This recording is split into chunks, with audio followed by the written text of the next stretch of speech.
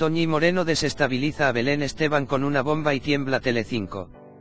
La presentadora de Viva la Vida soltó el obús durante su programa y, una vez más, la princesa del pueblo se vuelve a colocar en el epicentro del ojo del huracán. Se avecinan curvas.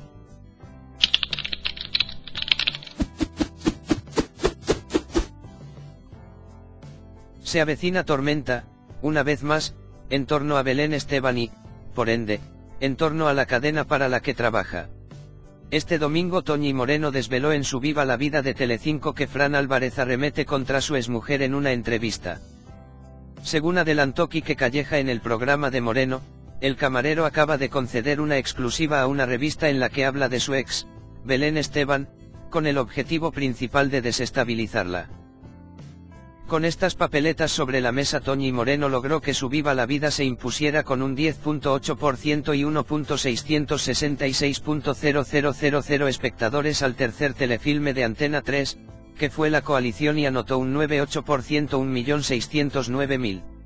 Sin embargo, no fue suficiente para ganarle la partida a otro telefilme, el de la 1 de TVE, que se embolsó un 13% y 1.936.000 espectadores con la emisión de La chica con la esmeralda india.